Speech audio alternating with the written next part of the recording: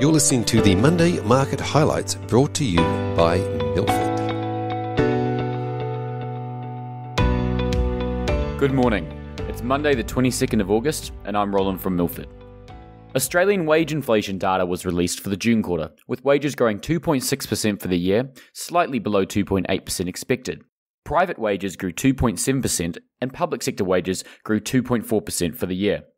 This is quite a soft print considering record tightness in labour markets. However, digging into the detail, there were some snippets of strength. In the private sector, those who did receive a pay rise saw their wages increase 3.8%, which is the highest since June 2012. Also, only 14% of workers received a pay rise in the June quarter, whereas about 42% are expected to see a wage increase in the September quarter.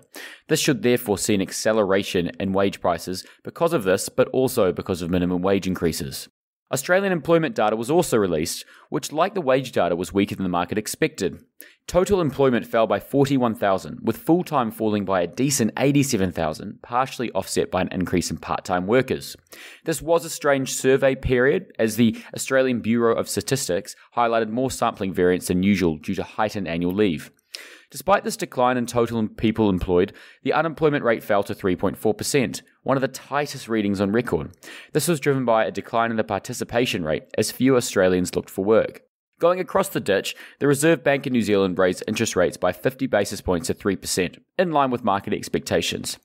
They also indicated the official cash rate may have to reach 4.1% to get inflation under control, higher than the 3.95% they previously highlighted. In the UK, inflation in July increased 0.6% month on month, taking the annual inflation rate to 10.1%. In Germany, the Producer Price Index was released, which also showed no slowing in the inflationary pressures, with the index increasing 5.3% month on month and a whopping 37% for the year. This generally leads consumer inflation, as it's the prices manufacturers sell their goods for, which naturally flows through to the consumer. Natural gas prices continue to grind back to 14 year highs as the energy crisis in Europe continues to deteriorate. Natural gas prices are up 141% for the year and 17% for the month. We also had Russia announce their key gas pipeline to Europe, Nord Stream 1, will be taken offline for unscheduled maintenance for three days, increasing pressures on Europe.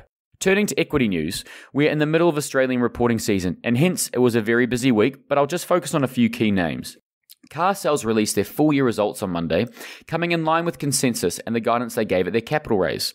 The focus on the call was on guidance, where they provided qualitative commentary expecting good revenue and EBITDA growth. This historically has translated into high single digit or low double digit percentages. BHP, otherwise known as the Big Australian, released very strong full year results, beating market expectations across most key metrics. The biggest surprise was the strength of the cash flows, with free cash flow of US $24.3 billion. Now, it was somewhat boosted by 3 billion of deferred tax, but nonetheless, it puts their balance sheet in a very healthy position. And it also allowed them to raise their final dividend, where they will look to return US $8.9 billion to shareholders. Seek also released a strong result, coming roughly in line with market expectations, but the big surprise came from the guidance, which was well ahead. Seek guided to revenue and EBITDA that were about 9% and 3% ahead of consensus, respectively, but this included heightened OPEX, which will fall out in a couple years, and so backing that out, EBITDA was actually 15% ahead. Despite the strong result and guidance, some of CEO Ian Narev's comments around the uncertainty in the macro landscape and some risk to the downside should things deteriorate saw Seek fall 6% on the day. Temple and Webster, the online furniture retailer, released a solid result, but again, guidance was the focus, and they highlighted higher margins and hence profitability than the market expected, which saw the share price rally 30% on the day.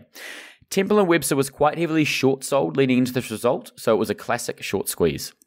Finally, Cleanaway released their results that were roughly in line with consensus, but the guidance was a bit soft as they continue to deal with a number of issues such as flooding and labour. Nonetheless, the focus was on the acquisition and capital raise, where Cleanaway announced they are raising $350 million plus a $50 million share purchase plan to fund the acquisition of GRL, which is a leading composting facility. They raised more money than they needed to so they could fund future developments.